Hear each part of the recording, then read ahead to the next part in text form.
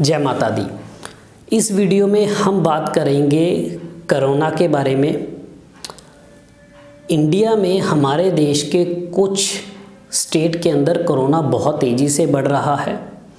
जैसे हम दिल्ली के हालात लगाए, महाराष्ट्र के या कर्नाटका के या उत्तर प्रदेश और अब तो धीरे धीरे पंजाब में भी काफ़ी तेज़ी से ये बढ़ रहा है। तो इस वीडियो में मैं बात करूँगा कि कोरोना के जो लक्षण है वो किन खराब ग्रहों के कारण बहुत तेज़ी से बढ़ते हैं? और अगर ग्रहों के हिसाब से हम कुछ उपाय कर लेते हैं तो बहुत बड़ी परेशानियों से बचा जा सकता है। ये उपाय, अगर इंसान जिसको कोरोना की प्रॉब्लम है, वो नहीं कर सकता तो उसके ब्लड रिलेशन में भाई बहन माता पिता चाचा, ताऊ, भतीजा भतीजा कोई भी कर सकता है।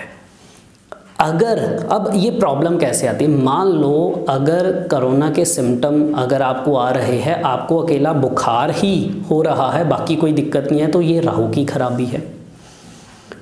अगर आपको किसी भी तरह से बहुत ज़्यादा खांसी है, जुकाम है, या किसी भी तरह से खांसी आपकी रुक नहीं रही और बलगम बहुत ज़्यादा बन रही है तो जब राहु बृहस्पति को पूरी तरह से ख़राब कर देता है, तब इस तरह की परेशानियाँ देखने को मिलती है, लेकिन बहुत बड़ी दिक्कत नहीं आती और रिकवरी हो जाती है आसानी से।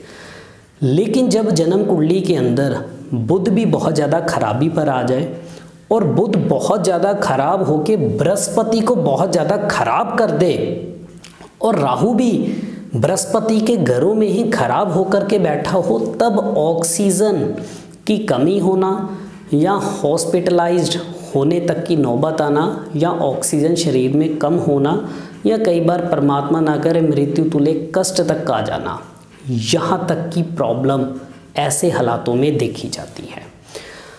अब ऐसी सिचुएशन में हम ज्योतिष के हिसाब से किन किन सिचुएशन में क्या उपाय करके इसको हम दूर कर सकते हैं? अगर तो आपको अकेली बुखार की ही प्रॉब्लम है और बुखार काफ़ी तेज़ बढ़ रहा है बुखार काफ़ी तेज़ है 101, 102 तक का टेम्परेचर पहुँच चुका है कम नहीं हो रहा तो ऐसे में क्या उपाय करने हैं? एक किलो जौ चार किलो दूध लेकर के इन दोनों को मिला लेना है बड़े से एनवलप में जौ लेके उसमें दूध डाल देना है और चार किलो दूध के समेत ही इसको चलती नहर या नदी में जल प्रवाह करना है। मैं समझता हूँ कई शहरों में लॉकडाउन है, उपाय करने में थोड़ी मुश्किल है, नदी तक जाने में परेशानी है, लेकिन ब्लड रिलेशन में कोई भी ये उपाय कीजिए, ज़रूर फ़ायदा होगा। अगर नदी घर के पास नहीं है या आप नहीं जा सकते तो दूसरा उपाय, तीन दिन लगातार 200 ग्राम जौ और 200 ग्राम गेहूँ, यानी कनक, ये लेकर के साँझ के समय, साँझ का समय होता है, सूरज जब छिप जाता है उसके तकरीबन 20-25 मिनट, आधे घंटे बाद मान लीजिए आप अपने गूगल पे सर्च कर सकते हो, आपके शहर में सनसेट का टाइम क्या है? अगर सात बजे सूरज छिपेगा तो साढ़े सात बजे इसको किसी भी मंदिर में रख कर के आना है। मंदिर, गुरुद्वारा, मस्जिद चर्च किसी भी धर्म स्थान में उसकी चार दीवारी के अंदर रख के बस हाथ जोड़ करके अपने सेहत की कामना करके आप आ जाइए। आपका बाहर जाना मुश्किल रहेगा। आप मत ही जाइए, ब्लड रिलेशन में किसी को भेज सकते हो, उनसे उपाय करवा सकते हो। अब जिन लोगों को बहुत ज़्यादा खांसी है, खांसी रुकती नहीं है, या जुकाम है, इस तरह की परेशानियाँ ज़्यादा है, इसमें इस तरह के सिम्टम ज़्यादा है तो ऐसे लोगों को क्या उपाय करना चाहिए? कि ऐसे लोग चार किलो चने की दाल लेकर के और साथ ही उसमें 40 ग्राम हल्दी की गांठें भी मिक्स कर सकते हो। उसमें तेज, ये लेकर के इसको तेज चलती नदी में जल प्रवाह कर दीजिए। अगर ये नहीं कर सकते तो दो किलो चने की दाल लीजिए और उसमें 20 ग्राम या 20 हल्दी की गांठें उसमें मिला करके पीले, बड़े से पीले सूती कपड़े में इसको बाँध करके अपनी सुख समृद्धि, अच्छी सेहत की कामना करके परमात्मा से बीमारी दूर जाने का आशीर्वाद पाके इसको किसी भी धर्म स्थान में चढ़ाइए, चाहे मंदिर, गुरुद्वारा, मस्जिद और वहाँ जा कर के हाथ जोड़ के इसको चढ़ाइए। गुरुवार के दिन चढ़ाइए, नहीं तो अगर ज़्यादा परेशानी है तो किसी भी दिन चढ़ाइए। इसको अगर आप लगातार दो दिन करते हो तो ज़रूर फ़ायदा होगा, लेकिन ये उपाय साँझ को नहीं करना, ये उपाय दिन में ही करना। जो उपाय साँझ के समय वाला था वो तभी करना था, बाकी सारे उपाय दिन में ही करने हैं, सूरज निकलने के बाद छिपने से पहले।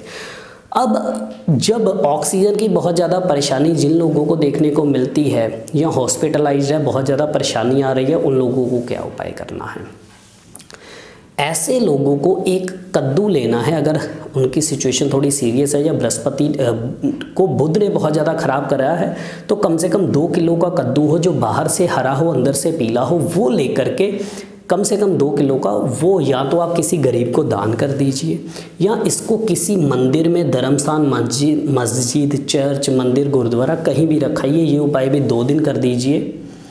आपको ऑक्सीजन से संबंधित दिक्कतें दूर होंगी, सेहत में लाभ आना ज़रूर शुरू हो जाएगा।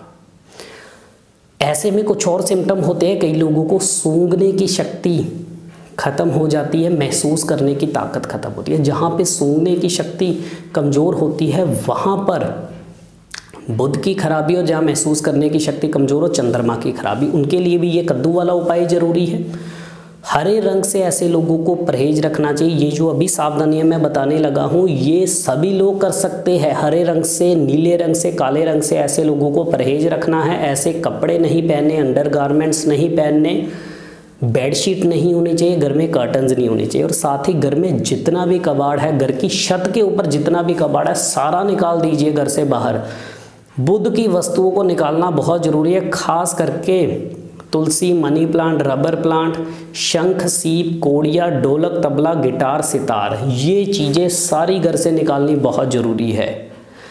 क्योंकि बुध खराब होकर जब बृहस्पति को खराब करता है तो ऑक्सीजन की कमी बहुत ज़्यादा परेशानी है। जब मृत्यु तुल्य कष्ट तक के योग मना जाता है, जब राहु भी खराब अवस्था में बैठा हो।